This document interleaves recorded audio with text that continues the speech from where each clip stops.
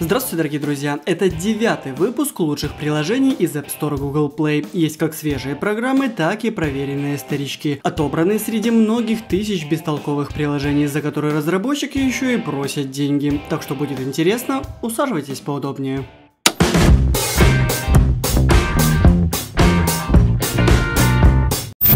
Всегда мечтал зарабатывать в сфере IT, Geekbrains – это крупнейшее сообщество, насчитывающее более миллиона пользователей, которые обучаются программированию. С Geekbrains ты сможешь создать сайт, интернет-магазин, мобильное приложение или даже игру. Пора валить с завода. Ребята предлагают начать с бесплатного онлайн-курса по основам программирования, на котором вы и определитесь, в каком направлении двигаться. После обучения тебя ждет стажировка и помощь в устройстве на работу. Все подробности по ссылке в описании. Еее, наконец-то я добрался до крупного обновления достойного менеджера задач Syncs. С приходом третьей части каких-то особенных функций добавлено не было, но разработчики значительно переработали интерфейс, с которым теперь взаимодействовать одно удовольствие. Очень понравился интерактивный плюсик для добавления задач, проектов и областей. Переосмысленное свайповое управление тоже зашло. Очень понравилась толковая интерактивная обучалка, которая проведет по всем и даже неочевидным возможностям приложения. Программа Программа кроссплатформенная, но сугубо для яблочных устройств. Ценник немалый, 10 долларов. Те, кто имеет предыдущую версию Syncs 2, приобретать программу не стоит. Старой версии хватает с головой. В том же лидере сегмента OmniFocus 2 возможности больше. Но другое дело, нужны ли они вам. Брать программу или нет, зависит от бюджета. Если позволяет, то вы получите в меру функциональное, красивое и очень удобное приложение. Если вам нужна простая, бесплатная минималистичная программа, которая могла бы хранить скидочные карты, то вам идеально подойдет пин-бонус. Как и в других аналогах из App Store и Google Play, здесь есть синхронизация с облачным хранилищем, что актуально, потому как вы можете установить приложение всем родственникам и они будут добавлять свои карты. Удобная сортировка и русский язык. Несмотря на то, что здесь есть специальный режим для отображения штрих-кодов, не все считывающие устройства могут их распознать. Это проблема всех приложений подобного рода. А для карточек с магнитной ленты разработчики предлагают купить скиммер.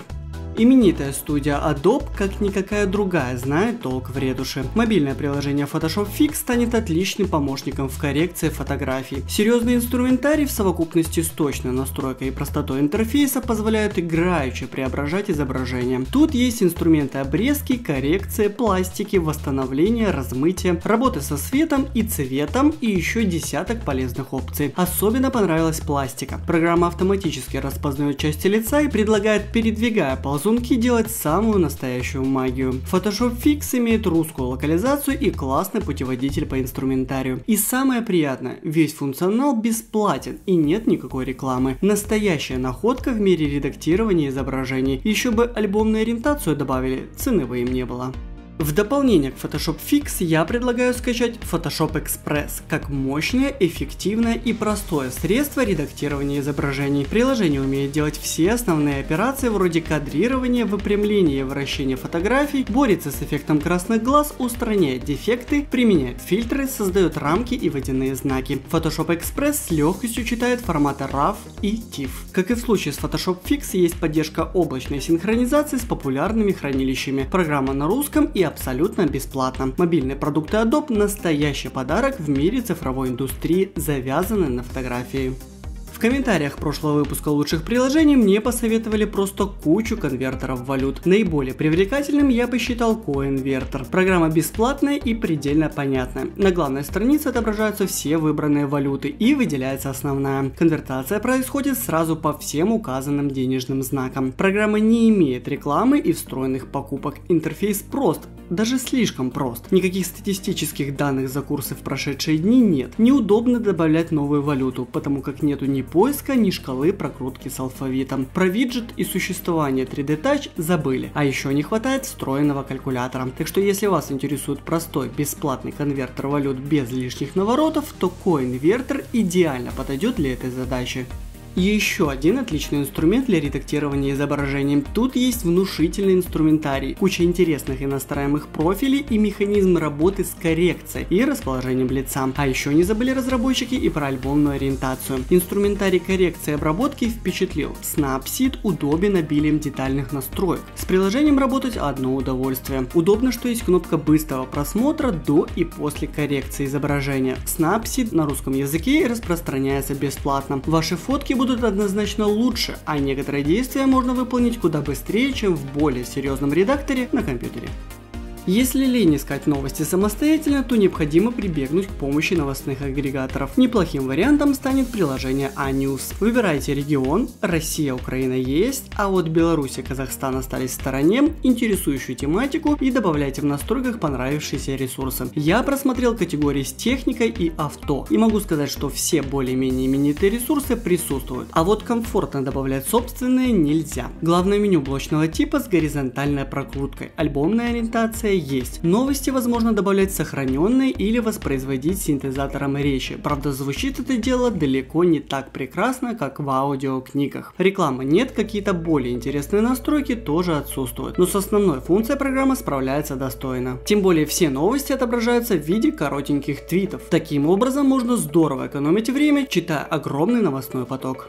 Лето – это пора отпусков и путешествий, только вот в условиях ограниченности бюджета бывает сложно подобрать поездку дальше ближайших курортов, на которых побывала даже ваша соседка. Сервис HitList завоевал награду выбор редакции App Store за качественный подбор бюджетных путешествий. Здесь вы найдете выгодные предложения, горячие скидки с учетом пожеланий. Имеется продуманный поиск по континентам, регионам, пляжам, островам, видам отдыха и другим критериям. Дело за малым – пригласить друзей, заказать билет билеты и вперед к новым открытиям. Из явных недостатков невозможность прикрутить кэшбэк из приложения и отсутствует русская локализация. В комментариях часто просят подобрать альтернативу штатному музыкальному плееру. Неплохим вариантом станет Flagbox. Программа воспроизводит музыку из облачных сервисов, позволяет скачивать оттуда треки, управляет файлами в облаке, работает с плейлистами, Wi-Fi дисками и имеет еще целую кучу встроенных фишек, вроде таймера засыпания или поддержки формата FLAG. Действительно, ведь программа называется Flagbox. Правда, тут хороший ЦАП и наушники докупить придется. Разницу в штатных AirPods вы особо не заметите. Программа на русском, а единственным неудобством станет баннерная и всплывающая довольно надоедливая реклама, которая отключается покупкой или пропадает при отсутствии активного интернет-соединения.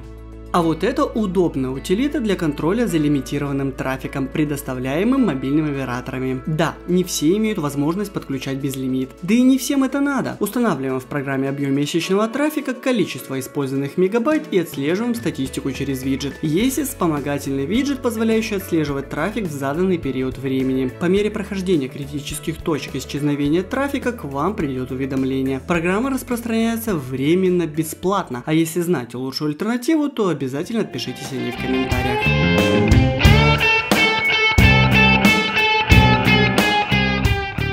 Огромнейшее спасибо всем тем, кто оставил в комментариях к прошлому видео свои любимые программы. Если вам есть чем поделиться, это можно сделать и под этим роликом. Обязательно пересмотрите прошлые выпуски, там еще много годного софта. Ну а на этом все. С вами был Вадим Ищенко на канале Протек. Подписывайтесь и ставьте лайки. До скорых встреч, увидимся в следующем видео. Пока-пока.